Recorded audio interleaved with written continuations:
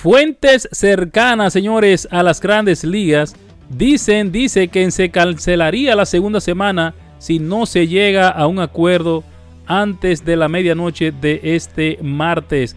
Gracias, gracias por estar con nosotros. Reciban de parte de nosotros un fuerte abrazo. En nombre de Nación MVP, Eduardo Ventura les saluda, les desea muchas bendiciones, les da las gracias. Señores, las grandes ligas planea pues eh, cancelar otra semana de juego de temporada regular si es que no se puede llegar a un acuerdo eh, bajo las negociaciones que ya se habían suspendido en Florida y que ahora se están discutiendo aquí en la ciudad de New York. Pues la Asociación de Jugadores de las Grandes Ligas eh, para este martes por la noche, igual que las Grandes Ligas, pues tenían previsto ya dar, de esto, dar esto por conocido, pues agregando otra capa de presión a las negociaciones, ya que están bastante tensas a medida que se acerca el cierre patronal de la liga y su día a día, ya llegando al número 100, señores. Pues la urgencia para llegar a un acuerdo laboral, eh, laboral ha aumentado este lunes cuando la liga pues sugirió, sugirió que el martes era la fecha límite para una temporada de 162 juegos y que los jugadores recibirán el pago completo y el tiempo de servicio completo. Pues señores, el sindicato se ha mantenido firme incluso después de que las grandes ligas cancelara la primera semana de la temporada regular de 162 juegos y de pago y tiempo de servicio eh, pues son fundamentales para cualquier acuerdo alcanzado y han amenazado con suspender los playoffs ampliados sin ellos. Así es, señores.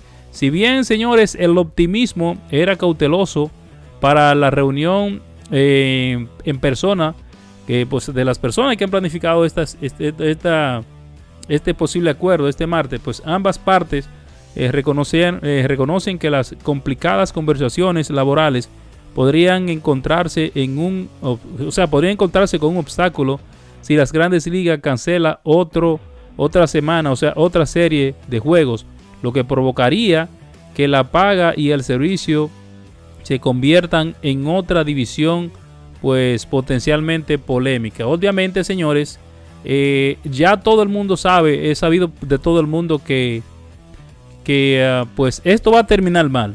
Sea la situación que se dé, señores, esto va a terminar mal. Incluso ayer estuvimos Estuvimos por, por alrededor del Yankee Stadium. Eh, si ustedes pueden ver acá eh, en nuestro canal, pueden ver un video que subimos ayer de los alrededores del Yankee Stadium aquí en New York. Y eh, pues veíamos la tristeza que se puede ver en ese estadio. Obviamente, no, como quiera, no iba a estar para esta fecha lo que, son lo que es la temporada regular, sino que este, estaban previstos el sprint training para esta fecha. Pero señores, entrevistamos a una persona ahí, eh, César Ramos, y nos hablaba un poco de, los ávidos que está esta actividad de New York y me imagino que Estados Unidos completo, donde quiera que se juegue béisbol, porque haya béisbol. Pero vamos a esperar que pues que haya un acuerdo, como dije anteriormente, por más que sea, entendemos que esto va a terminar mal y esperemos que sea lo mejor para la fanaticada, para el béisbol y lo para los peloteros, porque todas las partes se benefician de alguna u otra manera. Señores, a ustedes las gracias, gracias por estar con nosotros. Dejen sus comentarios, por favor suscríbanse. Gracias una vez más, les deseamos muchas bendiciones en nombre de Nación MVP.